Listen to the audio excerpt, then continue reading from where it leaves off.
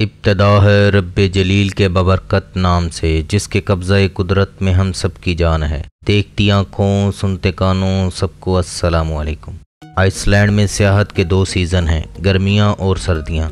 लोग गर्मियों में सब्ज़े, दरियाओं और आतश फशानों के लिए आइसलैंड आते हैं और ये सर्दियों में नादरन लाइट्स और मुंजमंद झीलें और आबशारे देखने आते हैं। शुमाली और जनूबी दोनों कुतबों पर सर्दियों की रातों में सब्ज रंग की तिलस्माती रोशनियाँ नज़र आती हैं।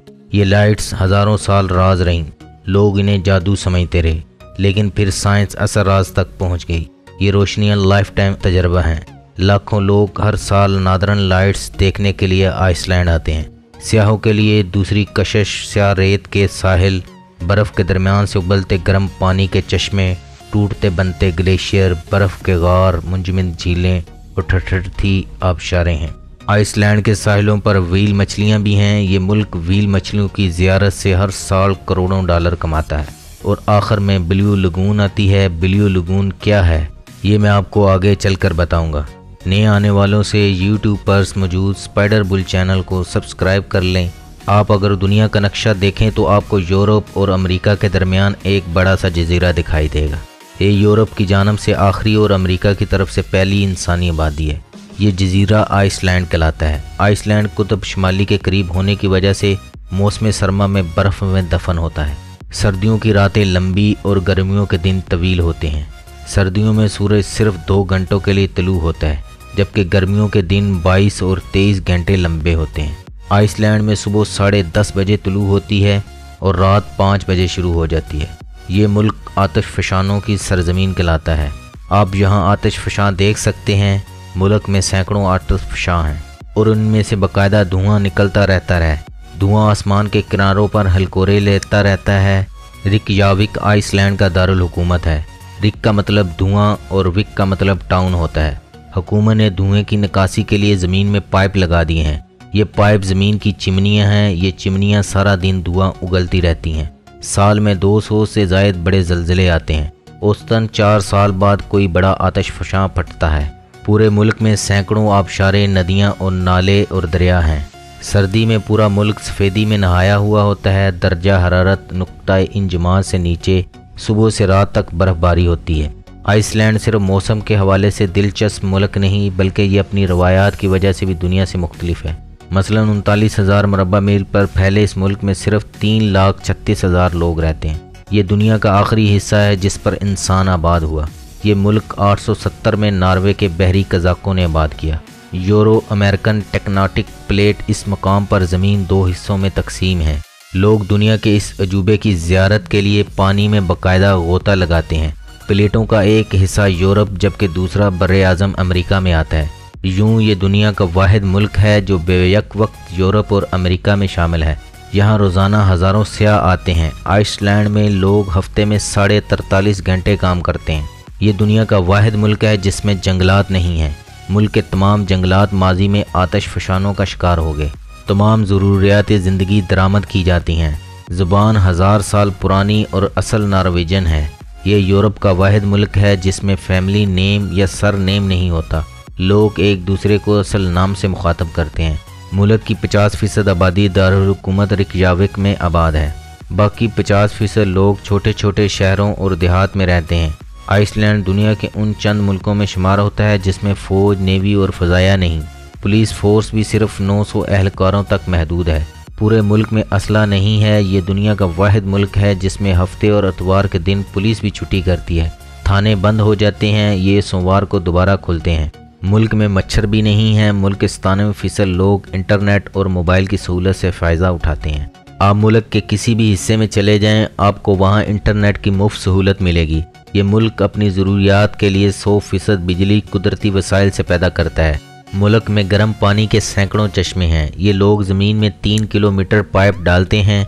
ये इससे टरपाइन चलाकर बिजली बना लेते हैं और गर्म पानी शहरों को सप्लाई कर देते हैं। लोग इससे नहाते भी हैं और घर भी गर्म करते हैं। लोग पानी से ज़्यादा कोका कोला पीते हैं।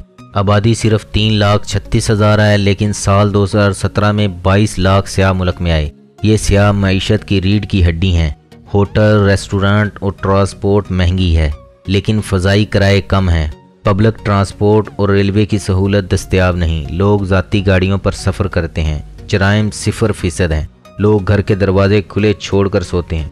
घोड़े और भेड़ें खालिश हैं। घोड़े कद में छोटे लेकिन मज़बूत काठी के मालिक होते हैं। जिसम पर बेतहाशा लंबे बाल होते हैं। तलीम मुफ़्त है। हुकूमत बच्चों को किताबें और यूनिफॉर्म भी फ्राहम करती है।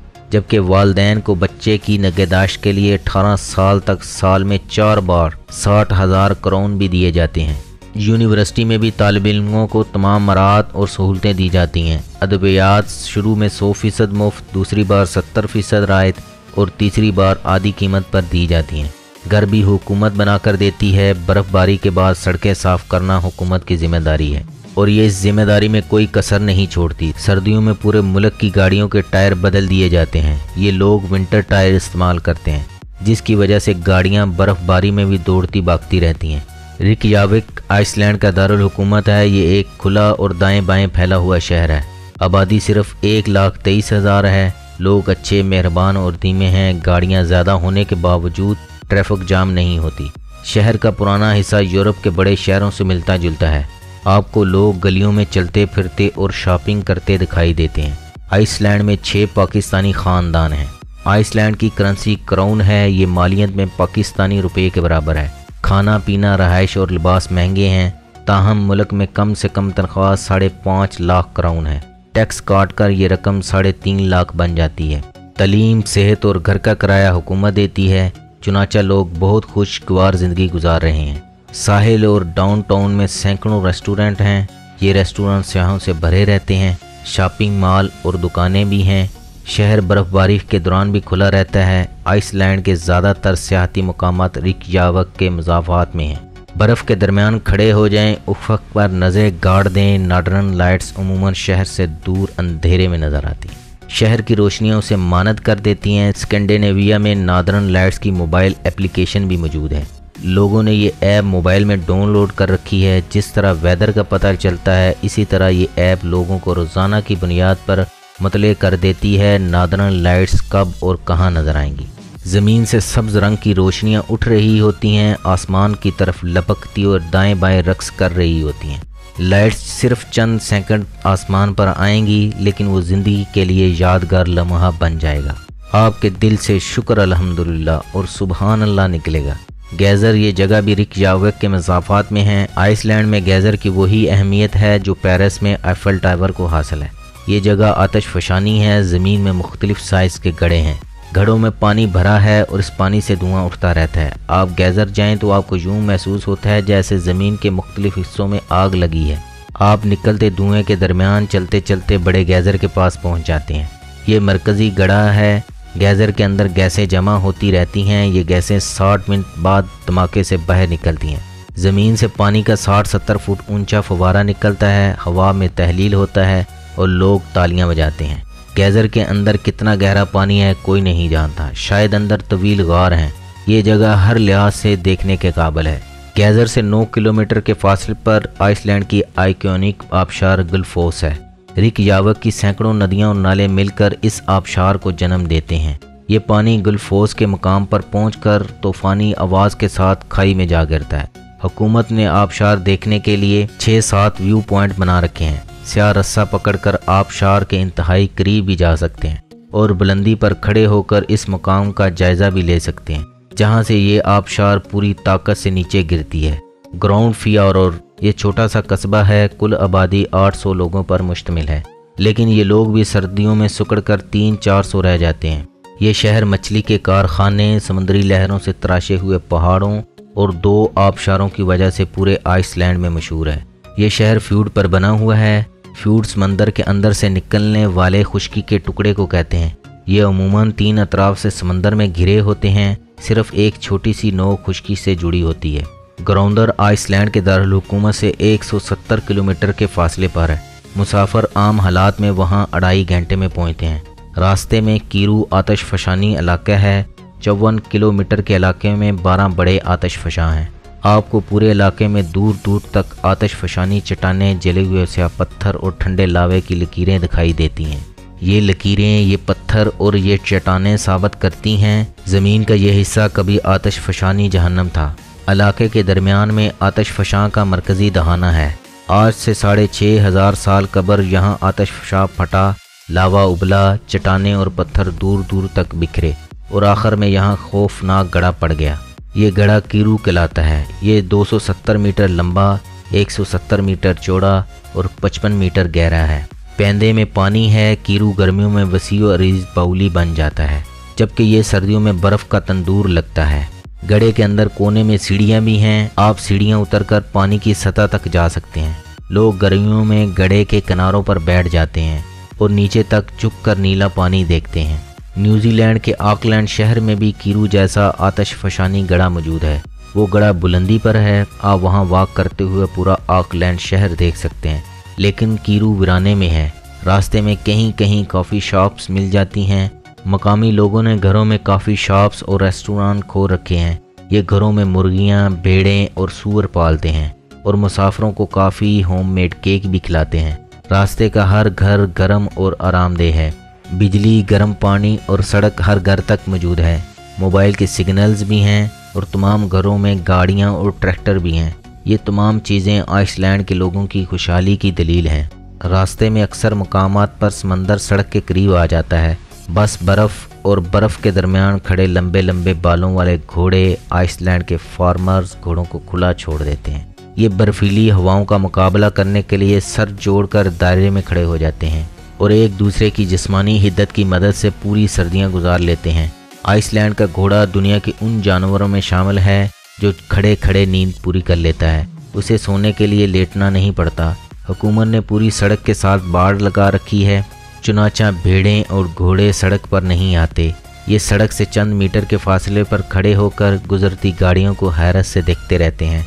ये शायद हम इंसानों को जानवर समझते हैं और शायद हमारी अफरा तफरी उनके लिए तफरी है। क्रोंदर के रास्ते में ग्लेशियर भी आता है। ये ग्लेशियर इस इलाके का बुलंद तरीन मकाम है। ग्रोंदर में एक ही होटल है। ग्रोंदर का ये वाद होटल एक पाकिस्तानी की मलकियत है। मुनीर मलक तला गंग से तल्लक रखते हैं। ये फैमिली के साथ होटल में रहते हैं। ग्रोंदर में ये वाद पाकिस्तानी फैमिली है। शहर के अवाम ने इनसे पहले कभी कोई पाकिस्तानी देखा था और ना ही पाकिस्तान का नाम सुना था। ग्रोंदर आइसलैंड का मशहूर तरीन इलाका है। ये ज़मीन की साख्त और कुदरती खूबसूरती की वजह से पूरी दुनिया के फ़ोटोग्राफ़रों की आखिरी मंजिल है। आपको ये इलाका हॉलीवुड की बेशुमार फ़िल्मों में भी नज़र आता है और तस्वीरों की नुमाइशों में भी। कर्क चोफल, पहाड़ पूरी दुनिया में मशहूर है, ये पहाड़ ग्रोंदर को जजीरा नमा बनाता है। आपको इस जगह पहाड़, समंदर और बर्फ़ तीनों मिलते हैं। पूरा इलाका आबशारों में घिरा हुआ है, वादी गर्मियों में जल तरंग बन जाती है। करक पहाड़ कभी जेर आब होता था, समंदर का पानी उसे सदियों तक तराशता रहा। फिर कोई जलजला आया या आतश फशान, जिसने उसे समंदर से उगल दिया। आपको पहाड़ पर तय दर तय पानी के आसार नज़र आते हैं। पहाड़ के टाप पर आतश फशानी गड़े भी हैं तो आपको पहाड़ समंदर में तैरते हुए जहाज़ की तरह दिखाई देते हैं। आपको रात के वक्त यूँ महसूस होगा, जैसे अभी चंद लम्हों में सीटी बजेगी और पहाड़ बहरी जहाज़ बनकर चल पड़ेगा। ये पानी का मंबा है और इस मंबा से दर्जनों नदियाँ और आबशारें निकलती हैं। आखिर में आप समंदर के एक ऐसे किनारे पर पहुँच रुक जाएँगे जिससे आपकी नज़रें और कदम दोनों जकड़ लिए जाएँगे। वो जगह स्टूडेंट कहलाती है। समंदरी पानी और लहरों ने चटाने काट कर साहिल पर दर्जनों फन पारे बना दिए हैं। आप वहाँ पहुँच कर मबहूत हो जाएँगे। आपके सामने समंदर होगा। समंदर में सुर्ख पत्थर की चट्टानें चट्टानों में कुदरती खिड़कियाँ, दरवाजे और पुल बने हैं। समंदर का पानी उछलकर इन खिड़कियों दरवाज़ों के अंदर आता है, चट्टानों से टकराता है, अपनी गुस्ताखी ही माफ़ी माँगता है और वापस चला जाता है। दाएँ बाएँ दर्जनों फोटोग्राफर खड़े कैमरे के साथ इन मनाजर की तस्वीर बनाते जाते हैं। वहाँ पहुँच कर यूँ महसूस होता है जैसे हम इस मकाम पर पहुँच गए हैं, जिसकी तलाश में पूरी दुनिया में मारे मारे फिर रहे हैं। जिसने हमारे दिल, दिमाग और पैरों में आग लगा रखी है। स्टूडेंट को देखकर आपके दिल, दिमाग में ठंड सी पड़ जाएगी। आप लंबी सांस लें, बेसाख्ता मुँह से अल्हम्दुलिल्लाह निकलेगा। दोस्तों, ये थी आइसलैंड की सैर। अपनी राय का इजहार करें। फ़ी अमानिल्ला पाकिस्तान, जिंदाबाद।